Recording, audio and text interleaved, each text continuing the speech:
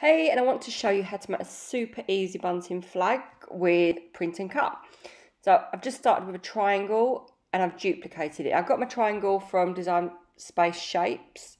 I unlocked it and just dragged it down a bit. And you can see there that I've duplicated it, flipped one side and welded them together. And that, that's it, I've got a diamond. So that's going to be my flag. So now I've gone in to colours and changed it to print and then you can change to pattern. So you can either choose coloured flags or you can go in and choose a patterned design. What I love about the patterns is you can use it for print and cut for so many different projects. So for dragging in, for example, my alphabets and making them printable, scrapbooking decals. But for this, I just want to make some really easy, really cute flags.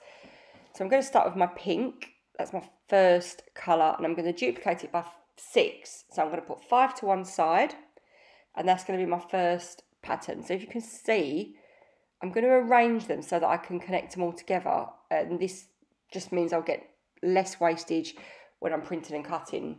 So I'm going to line them all up so that I'm using all the available space. Then I'm going to go in and I'm going to recolor this flag. And once I've chosen my pattern for this flag, I'm going to do the same process again duplicate it, keep one spare, and then recolour that and keep working till I've got enough flags and I'm happy.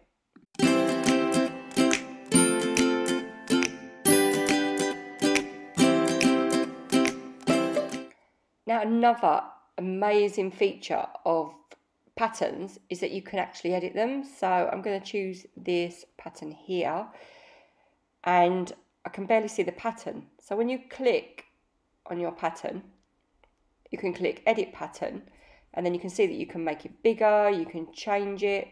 So this now will make my polka dots a lot more visible. So that's a great way that, to edit your patterns so that they just all look a bit different and to tailor them to your project.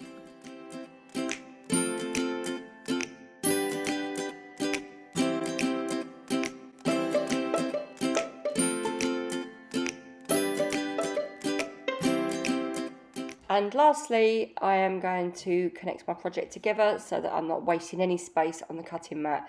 So simply by right clicking and then attaching, this project will print and cut, as you can see, exactly on the mat as I've done it on Design Space.